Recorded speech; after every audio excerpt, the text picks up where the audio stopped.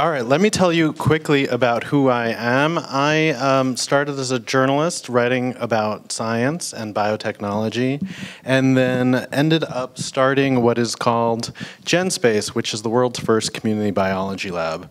So, way back when, eight years ago, some of you have heard the story, I apologize. Uh, way back uh, eight years ago, um, as a journalist, I was reporting on all these uh, fantastic discoveries in biotechnology and found myself deeply jealous of the scientists who were doing these experiments because I wanted to see how it actually worked myself. I wanted to try the science myself. And as someone with a degree in English literature, um, that meant I was going nowhere near their labs. Uh, so I had a decision. Either I could go back and start undergraduate from day one, uh, and then go to graduate school, and then go and get a PhD, and then uh, you know get a grant and start my own lab, uh, and then you know, so that would take about ten years, uh, and then start my first experiment. I could otherwise try to do it uh, in my house. And so what you're looking at is a picture from eight years ago in my uh, apartment in Park Slope. This is our living room. Um, we turned the living room table into a lab bench, uh, basically covered it with a tarp. We ordered some basic reagents and some bacteria online and uh, and we did our first experiment. The first experiment that we did as GenSpace was genetically engineer an E. coli bacteria to glow green. So we inserted a green, it's called a green fluorescent protein uh, gene from a jellyfish into the E. coli and uh, grew the E. coli up. Surprisingly, we didn't have an incubator. Uh, so what we had to do, and we will never do this again, is we took the petri dish of the uh, engineered E. coli and someone taped it under their armpit slept overnight with this E. coli under their armpit, and voila, we actually got genetic engineering to work in a, in a living room in Brooklyn, New York. Of course, a brilliant start to a brilliant career, right? Uh, so, uh, it, it proved to us that we could do biotech in an unconventional setting, outside of your, uh, your, your corporate lab or your industrial lab, and certainly outside of your academic lab. And it meant to us that uh, biotechnology, the, the barriers to biotechnology were, were, were lowering and that we might be able to actually do real science in a really unconventional way. Uh, so people started meeting in my house uh, once every other week to try other experiments, and very quickly we learned that my roommates weren't going to like that, and that there's only so much you can do uh, in that um, in, in, in three hours every other week. And so we moved eventually, uh, after a year of hunting, we moved to a place uh, on 33 Flatbush in Brooklyn in a really unconventional art space, uh, and we and they allowed us to set up a biology lab. So that's that's it. And and what we realized as we went into that um, new facility, if you can even call it that. Uh, was that we were joining a much larger movement in biotechnology, which was really about, one, making uh, the technology, making biotech much more powerful uh, in terms of engineering organisms and, and, the world and environment and the ecosystems around us, but also making it more ubiquitous. And we were sort of the uh, tip of the spear in making it more ubiquitous, certainly. Um, we started that eight years ago, called it GenSpace. Other people saw that we could do it. Today, there are 95 different groups around the world who are taking biotechnology outside of your traditional labs. Here's our lab. Um, it is very much a platform for the people who come to us. Our, our mission is that anyone can do biotechnology. Uh, given that they have the mentorship and the tools and obviously the safety training to do it.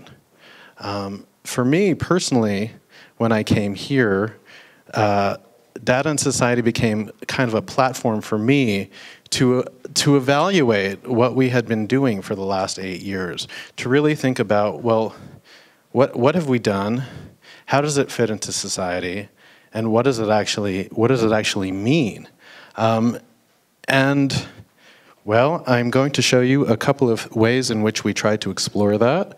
Uh, so we created something called, oh, it's cut off a little bit, but it's called the Biotech Futures uh, Talk and Lecture uh, Lab Series. And the idea was that we were going to have talks here in Data Society for audiences like you among leaders in uh, leaders and uh, among people who are really questioning what it means for biotech uh, to infiltrate society in the way it, which it's doing. And so the first uh, talk we did was with Heather Dewey Hagborg. It was a privacy in the era of personal genomics talk, and I'll, I'll give you a little details on that.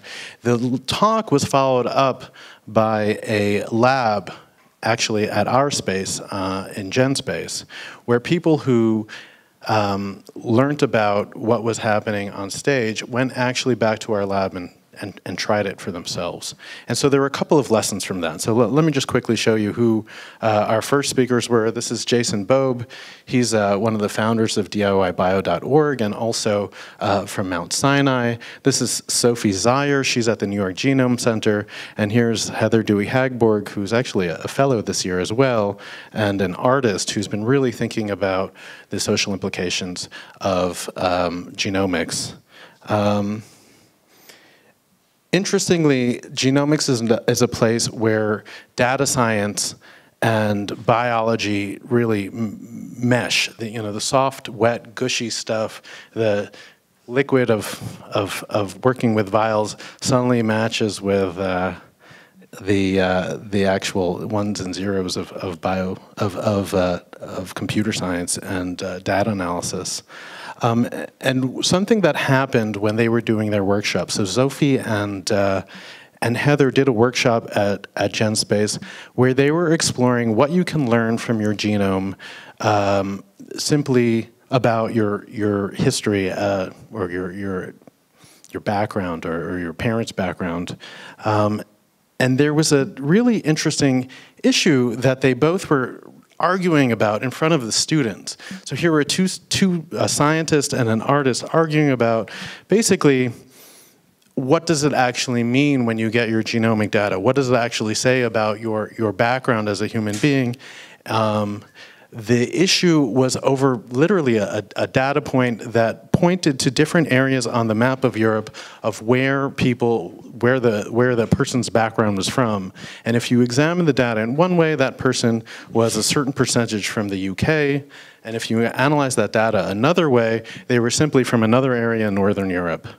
Um, and so for Heather, that meant that the data was bullshit. I mean, that, that was the language she, she used. And for Sophie, that was, well, this is, a, this is, this is the, an error in interpretation. And so what I started to understand here was that it was a matter of how you privilege the information, how you privilege what you are receiving. So Heather was privileging uh, personal histories, uh, what you know about your family, uh, and, and Sophie was privileging the data that you find in your DNA. And I don't think they ever reconciled that. Um, here's the second talk. Uh, we were exploring synthetic biology, synthetic biology, programming life with DNA. Um, this was the second one. And synthetic biology is also about the question of how you turn biological wet stuff into um, how you turn this wet stuff into basically a data science, how you, how you basically program life. And so the two people who are speaking, this was amazing. This was, this was foundational for me. These are two of my heroes got to come here, and that, I think that I, I owed Data and Society a huge debt for that. Uh, this is Tom Knight, who's basically the pioneer of synthetic biology, and Christina Agapakis, who works with him, who is um, the, one of the first bio designers who's thinking about um, biology as a design medium. Um, and they were talking about the complexity of, of basically programming life. So what does genetic engineering look like when you start to think of uh, genes as individual modules that you can snap together just like programming code. And there were two perspectives there. Tom was trying to simplify things so that literally you could mix and match genes to make your organism do exactly what you want. And Christina Agapakis was saying, well, you know, life is extremely complicated.